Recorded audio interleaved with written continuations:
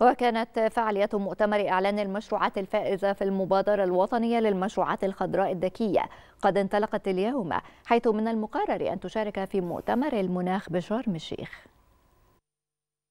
نحو خريطة للمشروعات الخضراء الذكية وجذب الاستثمارات اللازمة لها. انطلقت فعاليات مؤتمر إعلان المشروعات الفائزة في المبادرة الوطنية للمشروعات الخضراء الذكية والمقرر مشاركتها ضمن مؤتمر المناخ بشرم الشيخ. مصر أطلقت مبادرة تنموية رائدة برعاية كريمة من السيد رئيس الجمهورية وبتشريف دولة رئيس مجلس الوزراء.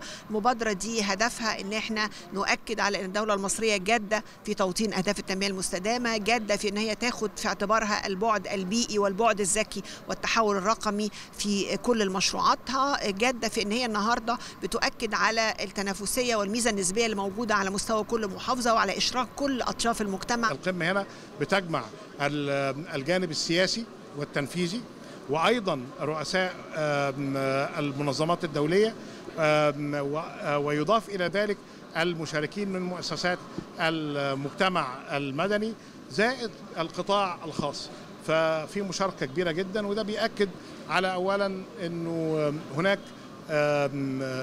زخم عالمي.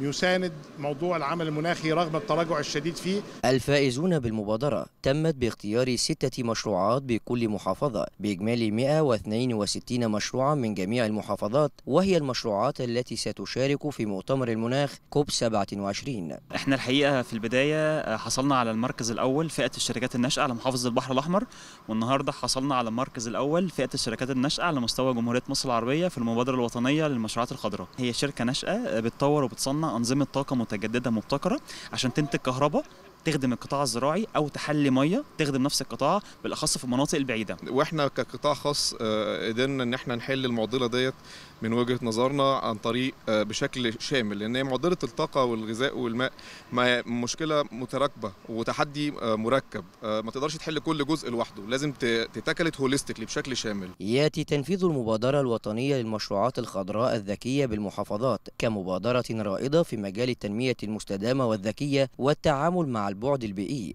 وآثار التغيرات المناخية في سياق تنفيذ رؤية مصر 2030 وتنفيذ الاستراتيجية الوطنية لتغير المناخ 2050